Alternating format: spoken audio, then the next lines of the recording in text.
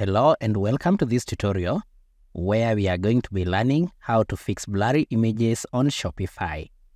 Now sometimes when you upload images for your products on Shopify, you may notice that either the image is too big and it may not fit the dimensions of Shopify. This should not worry you because there's a way you can fix such images from Shopify. So assuming you have your Shopify account, you will just log in into your Shopify account. And then to just show you an instance, I'm now logged into my Shopify account. I'll come to products and I'll be adding a new product. So I'll add a product here at the top. So I'll click on add product. Then I'll put the product title here. Let me call it Weaver Nest.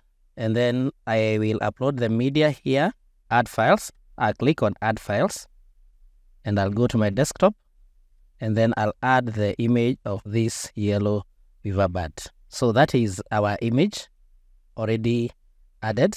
But now if I go back to my image, although the image is very crisp here, if now I come back to my image and show you the details about the image I uploaded, I'll go to my desktop and then this is the image we uploaded.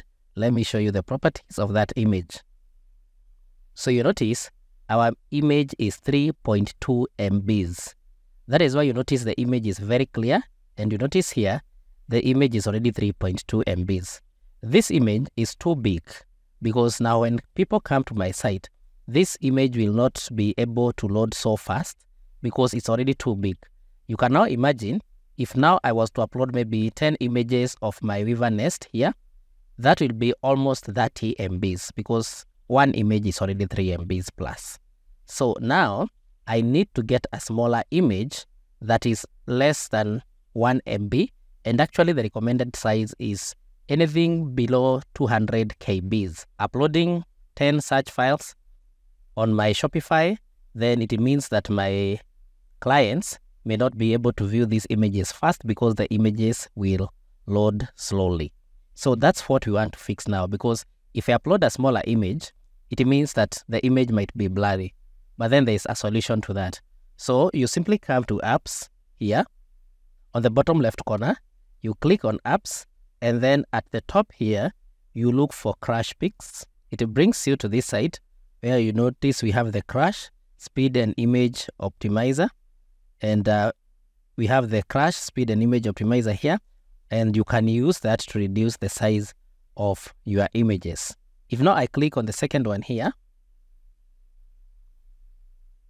and come down here, you notice speed up your shop and boost image SEO with CrushPix Image Optimizer and image renaming.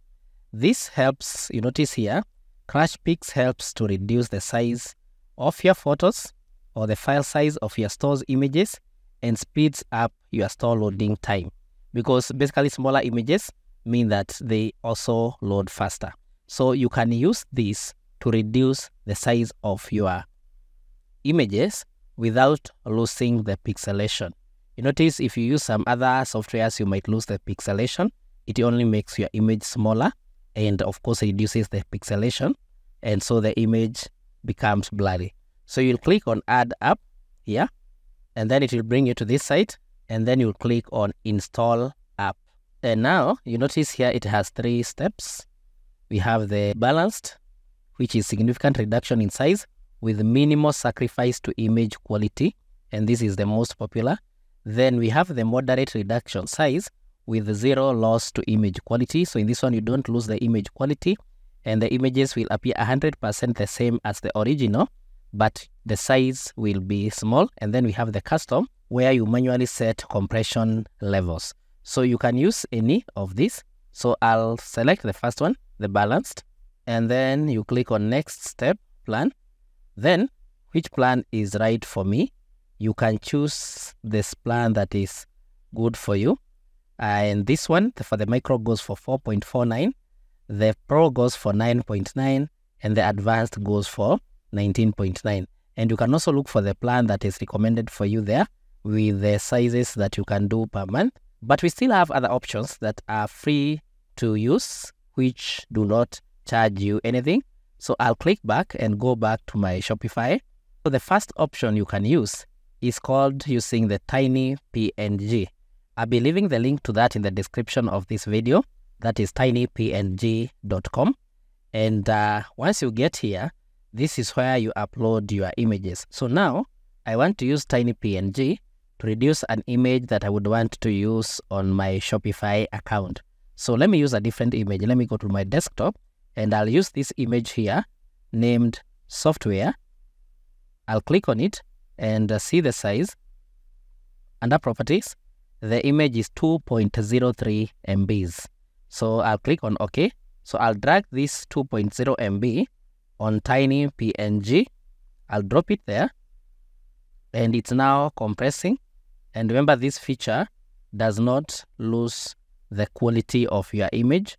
So it's now compressing this image called software.jpg, which is 2.1 MBs. And uh, it is now finished. You now notice we have 4.43 KBs all the way from 2.1 MBs, which is basically a reduction by 79% of the size of my image. So I'll download all. It can be downloaded as a zip, then I can get my image there. But you notice already our image will be 4.43 KBs and it will still be a very clear image. So that is one way to reduce the size of the images that I want to use on my Shopify store. But if I have so many images to reduce the size, I'll simply come to bulkresizePhotos.com and I'll be leaving the link in the description of this video. And here, I can drop images here. So this one, I also do the same. I'll go back to my desktop, choose the same image of 2.03 MBs, come to my bulkresizePhotos.com and I drop the image there. So here, you notice I can control the image quality and I can also change a few things about my image. So in terms of the percentage here, the file size, if I click on the file size, you notice that the images will be resized to 97.7 KBs, all the way from 2 MBs. Then I can look at the image dimensions, and then I can look at the width. I can adjust the width if I want to, and the height. So you notice with this one, I am also able to get bulk images reduced to a very small size. You can now imagine from 2.0 MBs to just 97 KBs or even less. So then I'll click on start so that my image will be converted and you notice now our image is there. So if I click on save, then I come to my downloads here to just see the image size. Here is my image. Let me look at the size. Properties. You see now my image here is 85 here. It's 85 KBs only from a whole 2 KB. If now I open the image so that you can see the quality, you notice the image is still of very good quality. I can still see whatever is needed for my Shopify images. So that is simply how you fix blurry images on uh, Shopify. I hope this has been helpful. Kindly like this video, share and subscribe to our YouTube channel.